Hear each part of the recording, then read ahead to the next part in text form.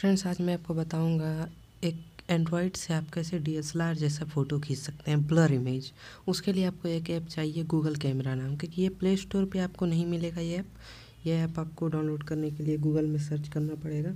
ये गूगल का ही ऐप है, पर प्ले स्टोर पर नहीं मिलता है. जैसे कि मैंने ऐप को खोल दिया, ऐसा फ्रंट फेस आएगा इसका. ठीक है? यहाँ पे देखिए ब्लर लेंस है कैमरा वीडियो है, ठीक है?